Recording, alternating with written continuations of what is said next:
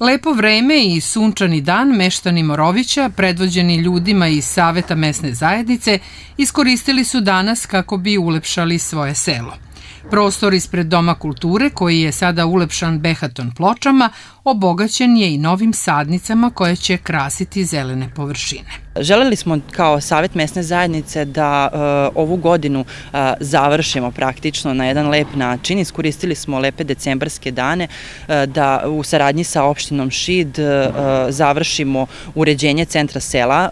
Ove jeseni smo uradili kompletnu rekonstrukciju platoa ispred Doma kulture i danas smo imali jednu akciju koju smo realizovali o zelenjavanje platoa ispred Doma kulture.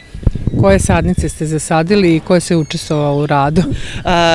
pomogao nam, pomogli su nam kolege iz javno komunalnog preduzeća Standard.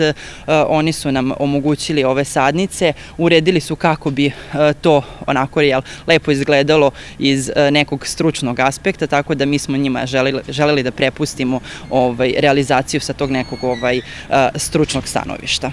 U Moroviću se trenutno radi i zaštitna ograda na putu. E, tako, tako je, zadovoljstvo mi je što e, mogu da najavim e, da, se, da su započeti radovi na zameni dotrejale zaštitne putne ograde na drugom kilometru puta, opštinskog puta od Morovića prema Višnjićevu. To je od izuzetno važnog značaja zbog povećanja bezbednosti učesnika u drumskom saobraćaju.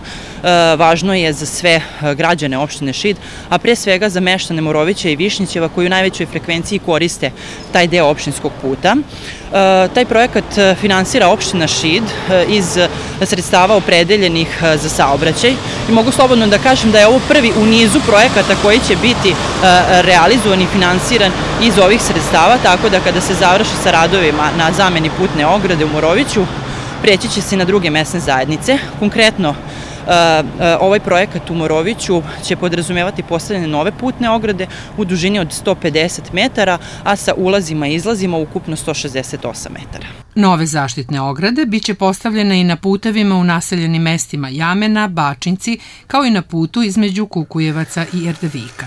Radove finansira lokalna samouprava, a biće završeni do kraja nedelje.